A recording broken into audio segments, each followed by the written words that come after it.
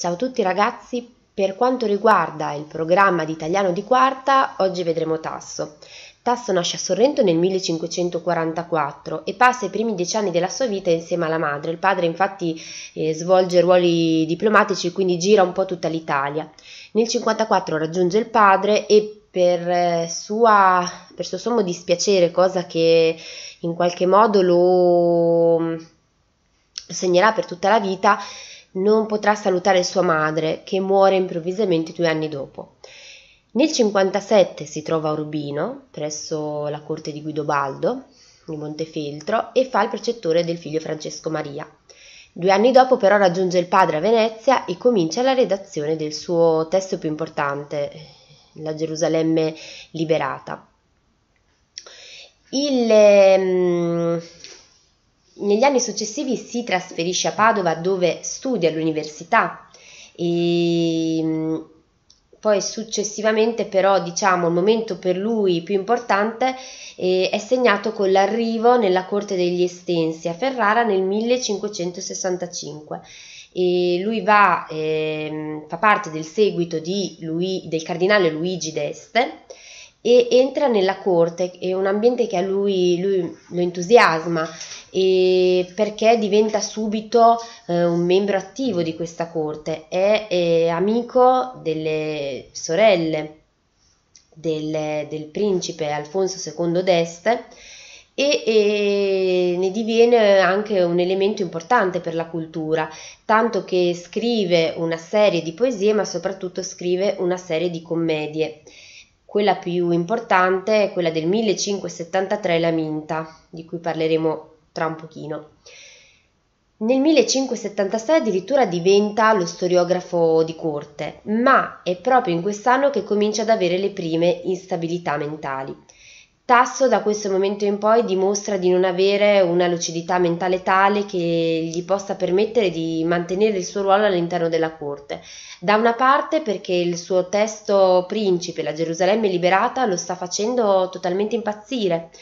Non, eh, non lo considera un testo mai adeguato, mai adatto sia a quello mm, che lui sta, cioè sia all'argomento di cui lui va a trattare, ma sia anche alla, mm, alla corte a cui lo deve leggere e, e Tasso si trova sempre indeciso sui cambiamenti e sulla conclusione di questo testo, tanto che eh, lo porta alla, mm, davanti alla Santa Inquisizione di Ferrara. Il testo viene accettato e lui non, non, lo considera valido perché il responso perché ritiene che sia stato troppo blando. E, e oltre a questa difficoltà nell'accettare lo, il, il suo testo, Tasso comincia ad avere anche delle difficoltà nei rapporti con la corte. Ha spesso scatti d'ira, ma quello che fa, diciamo, traboccare la, la goccia dal vaso è quando, eh, parlando con Lucrezia d'Este, si gira e tira un coltello a un servo che per fortuna lo schiva, ma perché pensa che lo, lo stesse spiando. Questa cosa mm, ovviamente allarma Alfonso II che decide di allontanarlo presso il convento di San Francesco. Tasso però scappa, si rifugia dalla sorella Sorrento, travestendosi e finge la, la, sua morte, finge di essere un messo che porta alla sorella la notizia della sua morte e dimostrandosi lei distrutta e affranta da questa notizia, si fa riconoscere. Sta lì per un po' di tempo, poi si trasferisce a Torino, torna nel 79 durante i preparativi delle nozze di, delle terze nozze anzi di Alfonso d'Este, ma eh, dimostrando, facendo una, una scenata durante proprio questi preparativi, viene definitivamente allontanato e viene mandato eh, presso l'ospedale Sant'Anna dove starà lì per, per sei anni eh, dal 1580 fino al 1586. E in questi anni la sua fama però invece di diminuire aumenta. Il suo testo, che lui ha lasciato a un, a un suo amico Scipione Gonzaga, viene eh, pubblicato in, piccole, in, piccoli stralci e, e tutti lo, lo apprezzano La critica si divide tra chi lo ritiene il testo, il poema cavalleresco più bello mai scritto, chi invece considera ancora Ariosto superiore, ma lui fa parlare di sé. E, e nel, uscito finalmente dall'ospedale, va via ovviamente da Ferrara, eh, girerà per... Eh, per, i, per, le città del nord Italia, ad esempio andrà a Mantova, tornerà a Padova, comincerà la redazione eh, della Gerusalemme conquistata, che è la definitiva stesura, l'unica stesura che da, um, che da lui viene approvata della Gerusalemme, e nel 1593 poi riuscirà ad avere dal Papa una pensione che gli permetterà di vivere in tranquillità gli ultimi anni della sua vita, infatti morirà nel 1595. Per quanto riguarda invece i testi, oltre alla Gerusalemme liberata che vedremo poi nella, nella prossima lezione, eh, sarà un discorso a parte, possiamo dire che eh, di tasso ci rimangono le, eh, i testi lirici, le poesie, che però sono tantissime, in quanto lui le ha scritte in tutto l'arco della sua vita e non le ha mai mh, poi redatte in un unico testo, anzi molto spesso le poesie uscivano non, eh, non, scelte da lui, ma uscivano proprio nei, sono uscite proprio nei periodi in cui lui è stato in manicomio. Quindi diciamo che erano i vari amici che poi le pubblicavano. La caratteristica delle Poesie di Tasso che non hanno una sistematicità, essendo scritta un po' in tutto l'arco della sua vita. Le tematiche principali sono tematiche di tipo amoroso, amoroso erotico, ma son, ci sono anche eh, delle poesie encomiastiche, perché Tasso cercava sempre di farsi benvolere dal Signore tro- presso cui veniva ospitato in quel momento.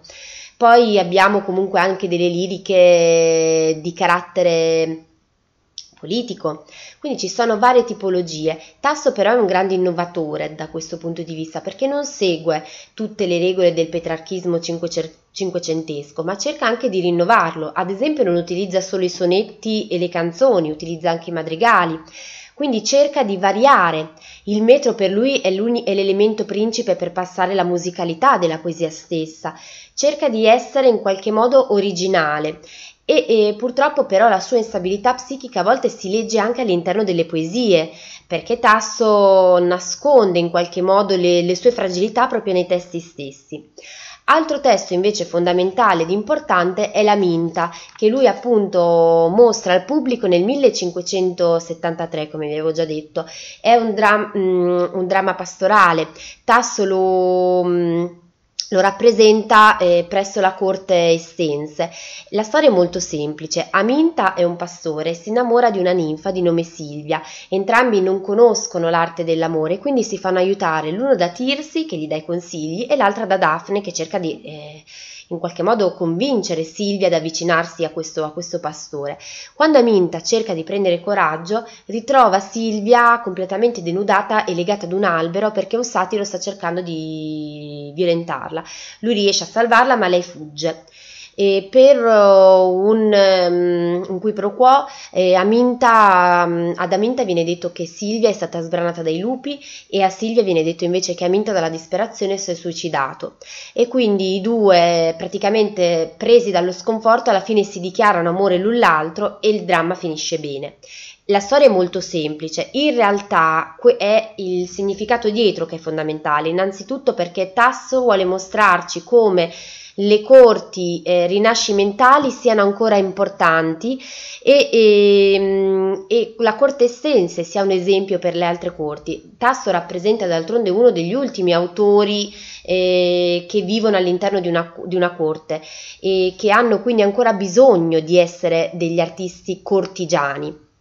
E Tasso vuole dimostrare che la corte ha ancora tanto da dire. I pastori rappresentano la bellezza dell'essere la corte, una visione ovviamente bucolica di quella che deve essere la corte, mentre il, sa- il satiro rappresenta la novità, la brutalità, il voler tornare alla natura intesa come un elemento brutale, forte, che è basato su semplicemente l'istinto, mentre la corte rappresenta ciò che c'è di eh, più bello in tutta la cultura, perché la corte è il luogo della cultura, è il luogo in cui gli artisti e i cortigiani possono incontrarsi per fare arte, per parlare d'arte. E, e, dal punto di vista invece linguistico la Minta riprende sicuramente le poesie liriche provenzali e silnoviste, ma anche i, i poeti delle, dell'ars dictanti latina, quindi Ovidio ad esempio, ma soprattutto Virgilio. È, è scritto ovviamente in, ehm, in, volgare, ma un volgare curato e elaborato. È, è vero un dramma da rappresentare in forma teatrale, ma è per lo più un dialogo. Le azioni non vengono tanto rappresentate quanto piuttosto raccontate. Poi la prossima volta parleremo invece della Gerusalemme liberata.